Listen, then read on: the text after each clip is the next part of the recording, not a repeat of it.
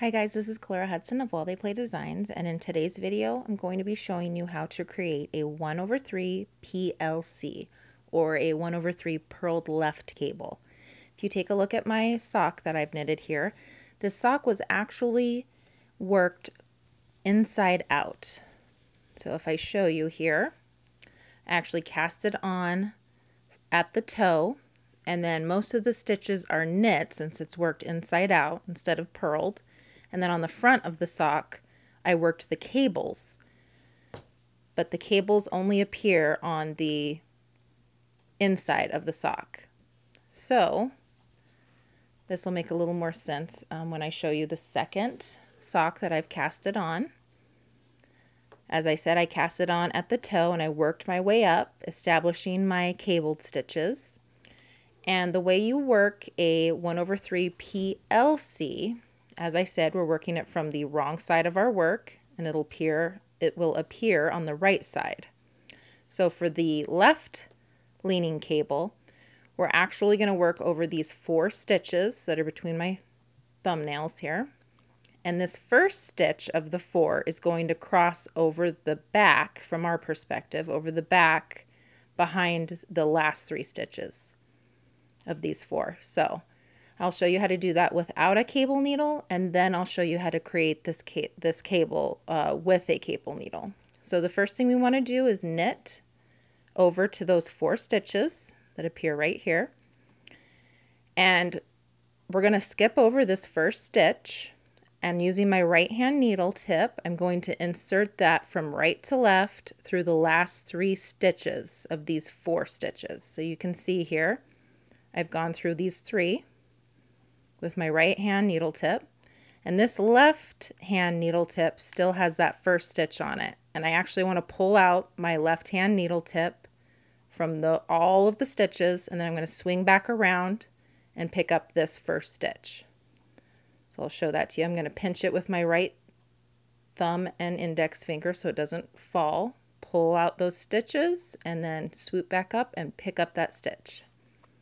So it's like we used a cable needle, but instead we used our right and left hand knitting needles. So now I can rotate my work and place those three stitches from my right hand needle back onto my left hand needle, purlwise.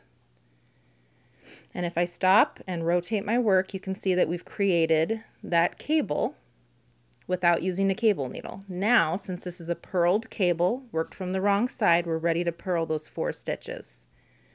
So we'll purl one, two, and this is wool, so it's wanting to stick together, three and four, and then I'll knit the next stitch so you can see this better.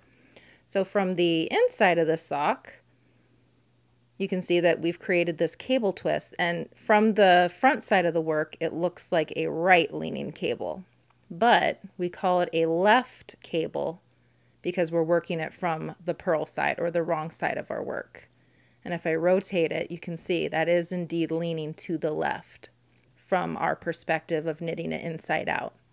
So now I'm going to show you how to create that cable with a cable needle. And I just have a DPN that's the same size as the needles I'm knitting with.